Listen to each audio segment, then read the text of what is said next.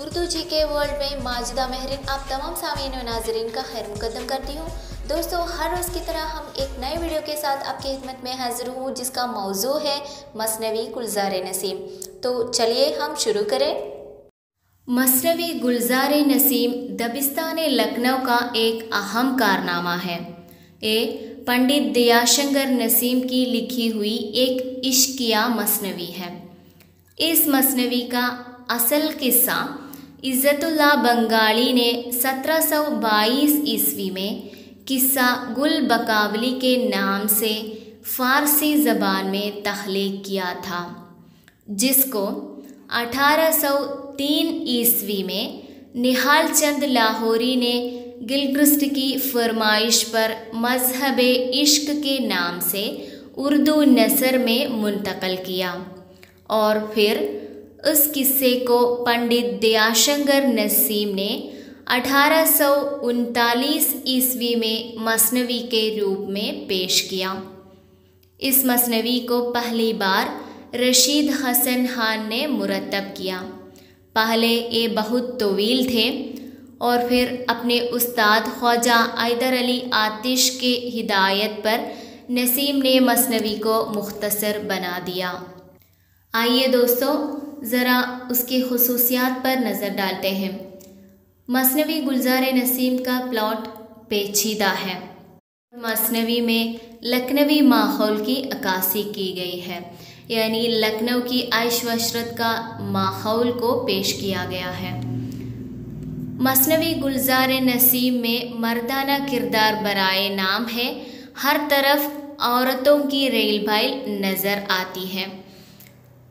यानी दिलबर, हिमाला देवनी, उनकी बेटी महमूदा, बकावली, जमीला परी रूह अफजा परी, रानी चंद्रावत, वायरा, निस्वानी किरदार ज़्यादा नज़र आते हैं। उरियानी भी इस मसनवी का एक अहम खसूसियात है, यानी आशिक व माशूक के विसाल का हाल नसीम बहुत लुत्फ़ लेकर बयान किया गया है। मिसाली तौर पर बकावली के गहरी नींद सोने का मंजर देखिए। पर्दा जो हिजाब सा उठाया, आराम उस परी को पाया। बंद उसकी जो चशम नरगिस दी, छाती कुछ कुछ गुली हुई थी।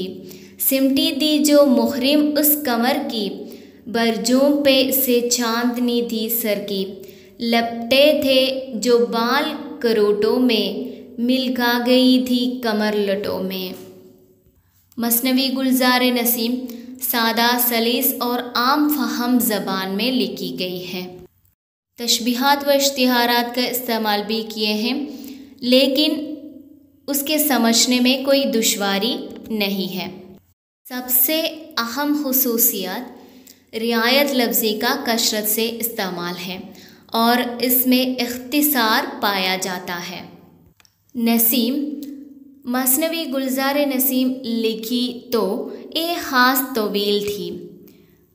उनके उस्ताद आतिश ने शागिर्द को हिदायत की कि मसनवी को मुख्तसर किया जाए और उन्होंने अपनी कादरुल कलामी की वजह से इसमें बड़ी हद तक कामयाब हुए। कई कई शेरों के मजमून को उन्होंने एक एक दो दो शेरों में समो दिया, जिससे ए मसनवी ईजाज व अख्तिसार का नमूना बन गई। मिसाली तौर पर देखिए, बादशाह के दो मुख्तसर सवाल और बकावली के मुख्तसर जवाब।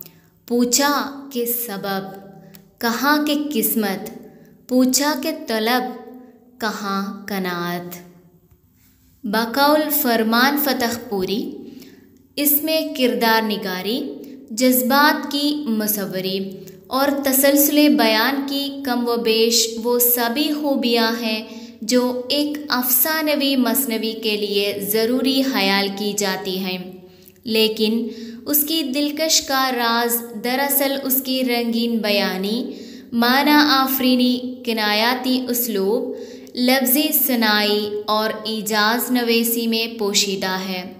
उन अवसफ़ में भी इख्तिसार व ईजाज़ का वस्फ इम्तियाज़ी निशान की हैसियत रखता है। प्रोफेसर इख्तिशाम हुसैन ने मसनवी गुलजार नसीम को शायराना और फ़नकाराना तख्लीक का मोजा कहा है।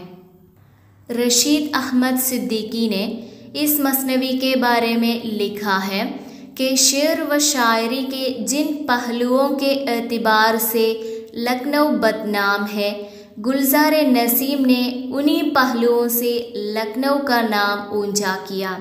ज़बान को शायरी और शायरी को ज़बान बना देना कोई आसान काम नहीं। दोस्तों, देखते हैं मसनवी गुलजार नसीम का अहम किरदार। मसनवी का हीरो ताजुल मुलूक है, जो यूरोप का बादशाह सुल्तान जैनुल मुलूक का बेटा था। और एक अहम किरदार है दिलबर। एक देव भी है और देव की बहन हिमाला। हिमाला की कैद में एक लड़की थी, महमूदा। इस मसनवी की हीरोइन है बकावली।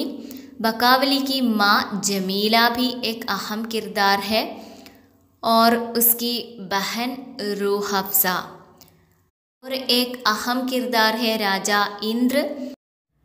चित्रसेन की बेटी चित्रावत भी इस मसनवी के एक अहम किरदार है। दोस्तों, अब हमें इजाज़त दीजिए, जल्दी मिलूँगा एक नए वीडियो मसनवी गुलजार नसीम के खुलासा के साथ। खुदा हाफिज़।